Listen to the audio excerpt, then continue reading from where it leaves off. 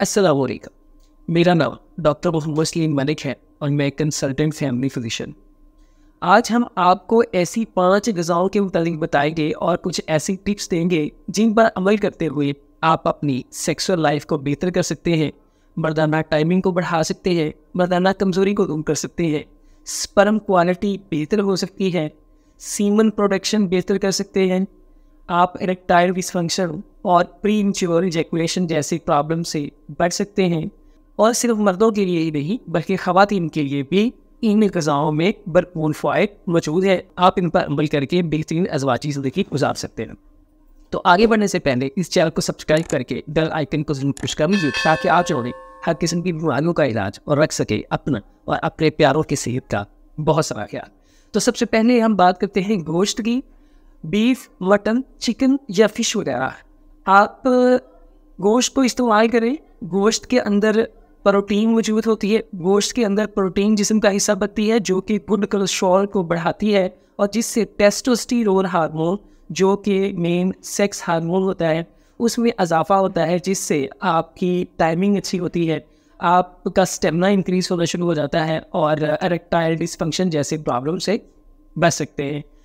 इसको खाने का तरीका ये है कि बीफ, मटन या चिकन का आप सालन बना सकते हैं और फ़िश का भी सालन बनाया जा सकता है। मगर बेहतर ये है कि चिकन और फ़िश को आप ग्रिल करके इस्तेमाल करें। ग्रिल करने से इसमें मौजूद न्यूट्रिएंट्स ज़ाया होने का खदशा कम हो जाता है और जिसम को भरपूर फ़ायदा मिलता है। दूसरे नंबर पर जो गज़ाएँ हैं वो है नट्स या सीड्स वगैरह, जिनमें अखरोट, बादाम हैज़लट मूंगफली और सनफ्लावर सीड शामिल हैं।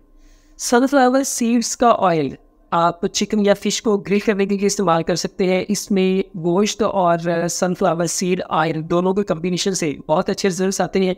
बादाम खाने का तरीका ये होगा कि रात सोते वक्त आप सात बादाम और सुबह मुँह निहार भी सात बादाम इस्तेमाल किए जा सकते हैं। दिन के किसी भी हिस्से में अखरोट और मूंगफली का इस्तेमाल भी किया जा सकता है। तीसरे नंबर पर जिस डाइट की हम बात करेंगे वो है एप्पल यानी कि सेब। सेब के अंदर अल्लाह ताला ने ऐसे न्यूट्रिएंट्स रखे हैं जो कि ब्लड फ्लो को बेहतर करते हैं और खसूसी तौर पर मेल्स में इसे एरेक्टाइल डिसफंक्शन को क्योर किया जा सकता है। सेब के अंदर ऐसे केमिकल भी शामिल हैं जो कि खातन में वजनल ड्राइडस से महफूज रखते हैं। चौथे नंबर पर बात करेंगे जिंक की।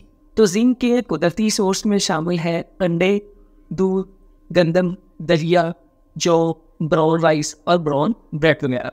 तो जिंक का इस्तेमाल खसूसी तौर पर erectile dysfunction premature ejaculation को बेहतर करता है।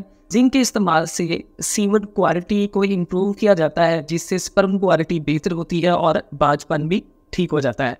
पाँचवें नंबर पर बात करेंगे नाइट्रेट रिच फूड्स की। तो नाइट्रेट रिच फूड्स में चुकंदर चुकंदर का जूस और पालक वगैरह शामिल है। नाइट्रेट्स पर डिटेल के साथ दूसरी वीडियो में बात हो चुकी है। आप इस आई बटन पर क्लिक करके इस वीडियो को तफसील के साथ देख सकते हैं। चुकंदर और पालक खाने का तरीका होगा कि आप इसे पकाने की बजाय सलाद के तौर पर, सैलड के तौर पर इस्तेमाल करें और चुकंदर का जूस दिन में एक गिलास इस्तेमाल किया जा सकता है। ये सारी वो गज़ाएँ हैं जिनके इस्तेमाल से आप अपने स्टेमिने को इम्प्रूव कर सकते हैं मरदाना कमज़ोरी को दूर किया जा सकता है, आप टाइमिंग को बढ़ा सकते हैं सीमन क्वालिटी बेहतर की जा सकती है, स्पर्म की प्रोडक्शन को बेहतर किया जा सकता है और बानपन से निजात हासिल की जा सकती है।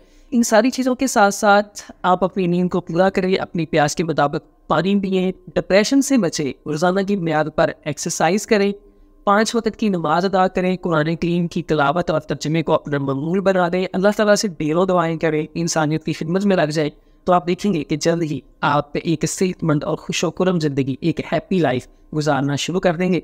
अल्लाह तला से दुआ है कि अल्लाह ताला आपको और आपके प्यारों को हमेशा खुशोक्रम और शादबाद रखे। आमीन।